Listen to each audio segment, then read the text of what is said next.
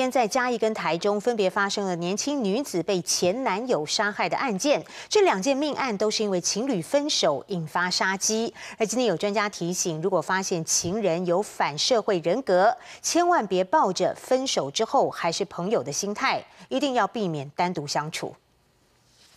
十一号上午七点多，二十八岁的邱姓男子躲在白色车子后面埋伏好一阵子，看到简姓被害人妈妈骑车经过，怕被发现，马上蹲低，随后走向二十三岁简姓女子家按电铃，也是死亡拜访的开始。很被他推倒在在地之后，呢，进而有压制，然后再掐住脖子致死。因为感情纠纷哦，怀疑对方有第三者，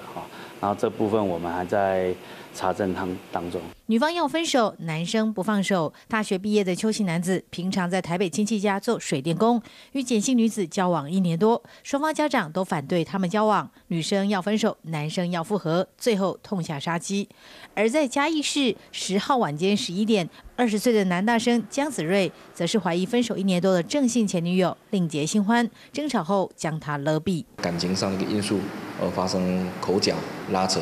啊，过程当中的话，哦，有对这个女孩子的话做一个勒紧的一个动作。年轻男女分手引杀机，连续两天，嘉义、台中两地传出凶杀案。两名凶嫌同样都有大学学历，同样都是个性木讷内向，但在处理感情问题却十分极端。专家指出，这一代年轻人缺少挫折，学校里也不教爱情学分，一旦遇到难题，往往手段也很极端。有反社会行为的人，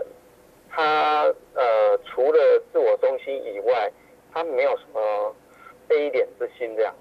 然后会非常的有有一些会非常自恋。我已经分手了，啊，就不要再让他，就是尽量疏远。专家建议，这些人平时就和一般人没什么两样，但隐藏的反社会性格，让他们在谈恋爱过程中过度狂热，情绪起伏大，自我中心强。专家同时也建议女性，一旦遇到这类性格的男女朋友，千万别存着分手还能当朋友的幻想，避免引来不必要的纠纷。记者王用彭焕群台中报道。